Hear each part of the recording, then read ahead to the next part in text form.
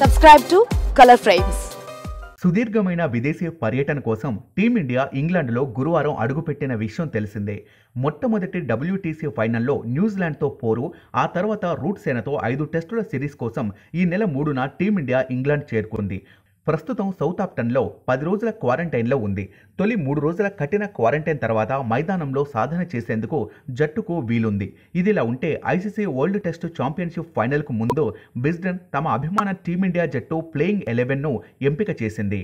Wisden తన జట్టుకు సారథిగా విరాట్ కోహ్లీని ఎంపిక చేయగా జట్టులో ముగ్గురు ఫాస్ట్ బౌలర్లు ఇద్దరు స్పిన్నర్లకు చోటిచ్చింది.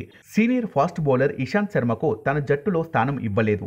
అలాగే ఆస్ట్రేలియా ఇంగ్లాండ్పై చక్కగా రాణించిన వాషింగ్టన్ సుందర్ అక్షర్ పటేల్తో పాటు చాలా మంది యువ ఆటగాళ్ళకు కూడా చోటు దక్కలేదు. ఇక కివీస్తో జరిగే డబ్ల్యూటీసీ ఫైనల్లో ఓపెనర్లుగా రోహిత్ శర్మ శుభ్మాన్ గిల్ను బిజ్డెన్ ఎంపిక చేసింది.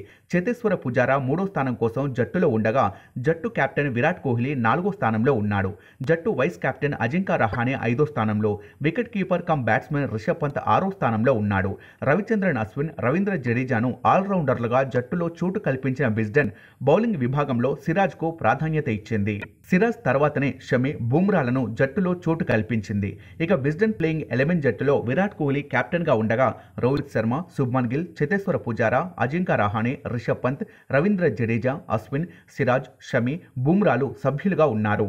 Please subscribe Colour Frames Colour ఫ్రేమ్స్కి subscribe చేయండి. Subscribe to Colour Frames please subscribe to Colour Frames